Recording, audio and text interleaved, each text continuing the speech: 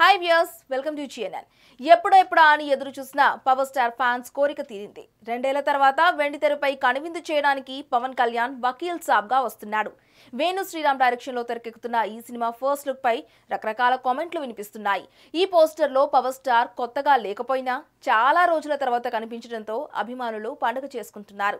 అయితే సినీ విమర్శకులు మాత్రం తమ స్టైల్లో రెచ్చిపోయారు. ముఖ్యంగా వివాదాల దర్శకుడు అయితే డైరెక్టర్ సాబ్ అంటూ పవన్ స్టైల్ని అనుకరిస్తూ వ్యంగ్యంగా తన పోస్టర్ని పెట్టాడు.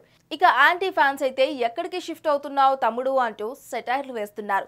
ఇంకొందరు నేనో బికారి నా దారి ఎడారి అన్న పాటని గుర్తు చేస్తూ కామెంట్లు పెడుతున్నారు. మొత్తానికి సామాన్తో టెంపుల్లో కులాసాగా కూర్చున్న పవన్ స్టైల్ ఫ్యాన్స్కి తప్ప సినీ ప్రేక్షకులకు అంతగా కిక్ ఇవ్వకపోవడంతో సినిమా ఎలా ఉంటుందన్న దానిపై ఆసక్తి నెలకొంది.